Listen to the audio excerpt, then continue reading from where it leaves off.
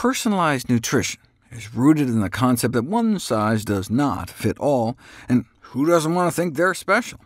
The concept of personalized nutrition is inherently appealing to the human ego. Simple messages recognizing individuality therefore resonate deeply with consumers, explaining the popularity of such messages in sales and marketing, even to the point of manufacturing personalized food for people's uniqueness, suggesting 3D food printing is a good candidate for food customization. Now, there certainly are some legitimate differences between people. Some have a peanut allergy and keel over if they eat a peanut, and others have celiac disease and have to avoid gluten, or genetically are lactose intolerant.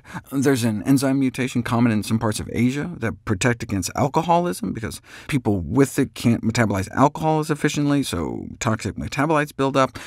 I did a fascinating video about fast versus slow caffeine metabolizers and the difference in health benefits. That actually extends to athletic performance. Uh, caffeine is ergogenic, performance-enhancing, but only in fast metabolizers, shaving more than a minute off 10 kilometers of cycling, whereas slower metabolizers got no benefit, or caffeine actually slows them down, adding two minutes to their cycling time, depending on which kind of genes they have that codes the enzymes that breaks it down. Uh, but for most people, in most situations, we are more similar than different. While there's undoubtedly a specific minority of individuals who clearly require a more personalized approach to nutrition, there is presently insufficient rationale for truly personalized nutrition for the majority of people. Yet there's an astonishing number of direct-to-consumer genetic testing companies that have proliferated offering personalized nutrition advice. For example, supplement hawking companies claiming to help consumers optimize micronutrient status on the basis of a handful of genetic variants. But the majority of these variants explain just a few percent of the difference in levels between individuals. Uh, personalized nutrition is part of a broader push towards personalized medicine, also known as precision medicine, given the massive cultural allure of personal control over prevention, diagnosis, and treatment of disease, stimulating demand and prompting intense commercialization. But unlike monogenetic diseases, which are rare genetic diseases caused by a single malfunctioning gene like hemophilia or sickle cell anemia, most diseases are caused by a complex interaction between multiple genes with environmental factors, which pose a major challenge for the realization of personalized medicine. Uh, take something like adult stature, for example. We found at least 40 locations on our chromosomes that have been associated with human height, which is strongly inherited. The genes from your parents account for about 80% of the difference in height between people. Yet all those dozens of genes we found explain only about 5% of height variation between people.